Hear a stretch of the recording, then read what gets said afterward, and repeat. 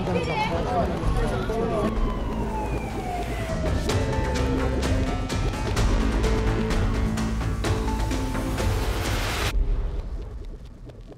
2024년 10월 31일 16시경을 기준으로 어, 튀르키예 이스탄불 하이팔르 지역에 규모 7의 강진이 발생하고 쓰나미 주의보 발령, 우리 국민 150여 명이 임시 대피소에 고립되었고 총 12명의 이총 12명의 우리 국민이 사망하고 36명이 부상을 당한 상황을 가정하여 훈련을 개최하게 되었습니다. 우리 국민 피해 현황을 상세히 파악하고 가능한 모든 수단을 총동원해서 우리 국민을 보호하고 어, 치료, 우리 국민의 안전조치를 강구하는 지시가 있었습니다. 다른 상황이 있을 수 있고 현재 비교적 행동 매뉴얼에 따라 현장 지휘 본부를 구성하고 상황팀, 현장팀, 대임명팀 등 상대팀으로 나누어 현 상황에 적극 대응하고 국민 결과를 종합해서 보도 자료를 어, 준비해 주시기 바랍니다. 현지뿐만 우리 국민 피해 확인하고 지원에 만전을 기해 주시기 바랍니다. 네, 저희 언론문화단실에서도 언론 대응이 외교 제공과로 관여되었음을 단체 공지로 알리도록 하겠습니다. 피해자 입시 시작되는 법인기관과 기관에 따라 전방을 마련하겠습니다. 현재 이용 가능한 이스탄불과 이스라엘 정기 항공편은 대한항공이 월수공, 아시아나항공은 수금도, 필요한 경우에는 치안기관과 협조하고 감식분야 직원을 행정대응국에 강화도 고려하겠습니다. 소방청입니다. 이번 사고로 인해 우리 국민 부상자가 다수 발생하였으며 이들의 응급치료, 응급치료를 위해 신속 대응팀 및 국제 구조 구급대로 파견되는 점에 대해서 에드웨이드 세트하고 조속한 복구를 지원하는 위치에 에드웨이드 성명을 지급 발표하였습니다. 한편 양국 간 긴밀한 공주체제 유지를 위해 이에 따라 우리 국민 부상자에 대한 적기 치료가 불안한 상황이 되었고 광범위한 지역에서 대부분의 도로가 파손되어 국내로 구성되어야 할 부상자들에 대한 직결지 구성에 어려움이 예상되는 상황입니다. 준비해 주시기 승리입니다. 어, 말씀 주신 대로 지난 상황에 대한 언론 문의에 대해서는 이 제도를 다 고가로 받는 국제지국도 우리 국민이 체류하는 대피소와 긴급의료센터를 순회하면서 우리 국민의 안전사항을 점검하였습니다. 어, 대피소 순회 시 미리 가는 같은 주요 긴급 보호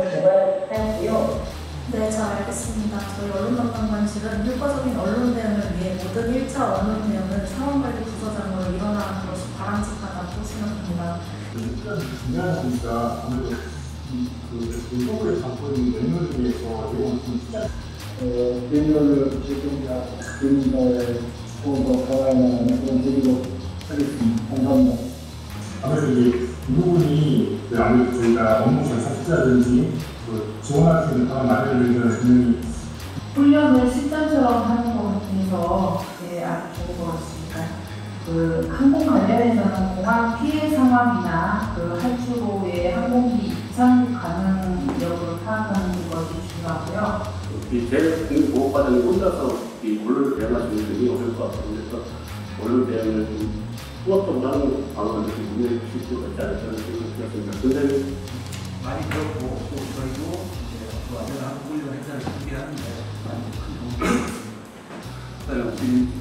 훈련 참가자 요원 그 저희 그 숙련도 그 숙지하고 그다음에 어떤 대응하는 숙련도 이것을 갖다 향상시키는 것이 어, 그 목적이 있지 않겠는가 하는 생각이 듭니다. 훈련하고 보면은 다른 부처하고는 좀 어, 차별화된 훈련이 된다고 생각을 하는데요.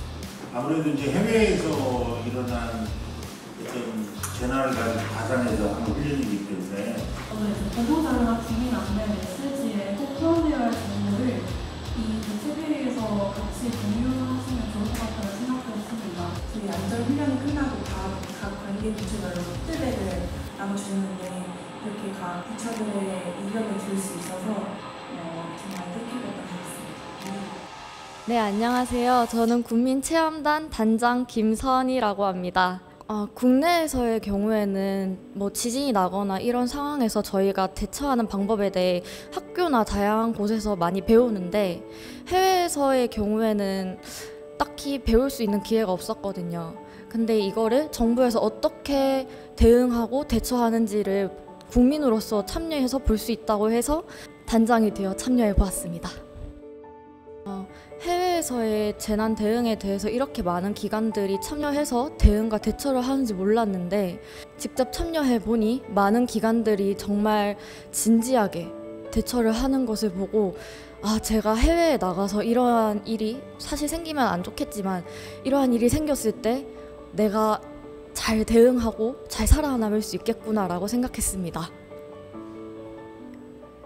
어, 오늘 훈련에서 각 기관마다 오늘 훈련에 대한 피드백을 했었는데요.